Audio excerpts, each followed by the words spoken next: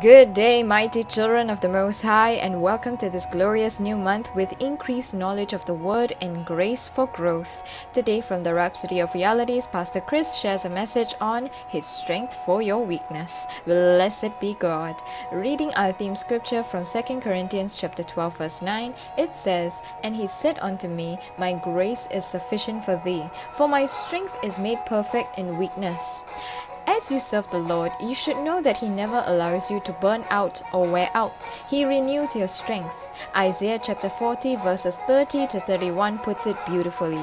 It says, Even the youths shall faint and be weary, and the young men shall utterly fail. But they that wait upon the Lord shall renew their strength. They shall mount up with wings as eagles. They shall run and not be weary, and they shall walk and not faint. Hallelujah.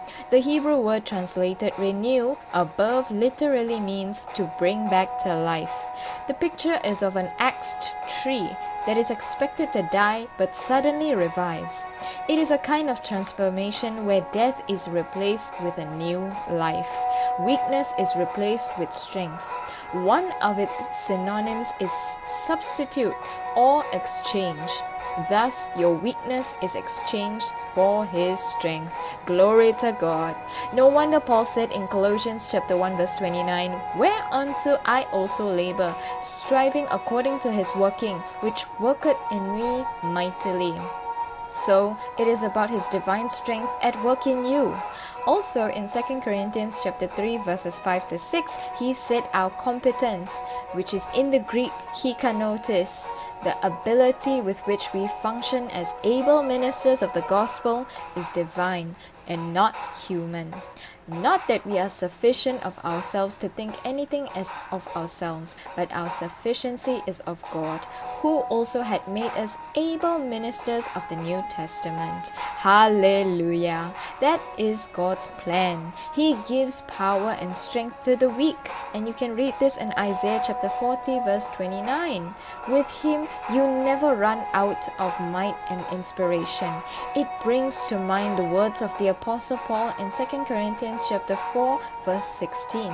For this cause we faint not, but though our outward man perish, yet the inward man is renewed day by day. As a laborer with the Lord, working for and together with Him, there is a renewal of your strength. You are constantly refreshed and rejuvenated by the Spirit of God to be a fire, inspired and full of joy as you serve Him. Be conscious of this.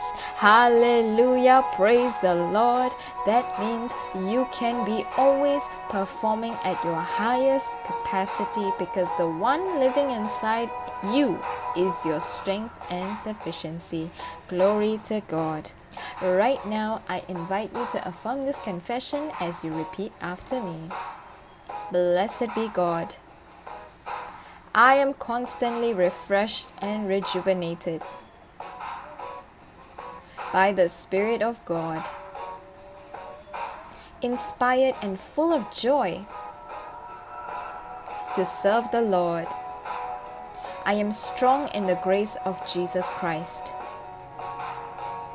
competent and ready for every good work. He is the strength of my life.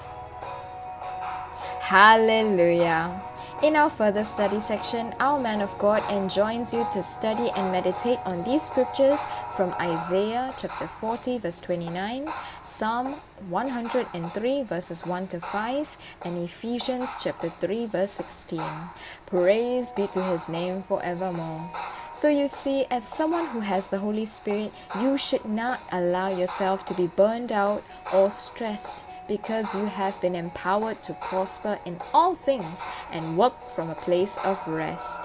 This month, decide to put the Word of God to work as you tune in daily to the Rhapsody of Realities. And if this is your first time, you may subscribe to this channel for more teachings from Pastor Chris. Share these messages to all those on your social media platform and reach others with the good news. Download your own copy of this daily devotional from the link in our description, available in over 3,700 languages for free today, and bless someone with this daily devotional.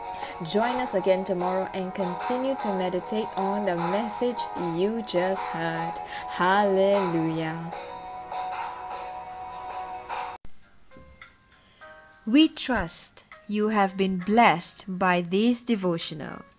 We invite you to make Jesus Christ the Lord of your life by praying thus O Lord God, I believe with all my heart in Jesus Christ, Son of the living God. I believe He died for me and God raised Him from the dead. I believe he is alive today.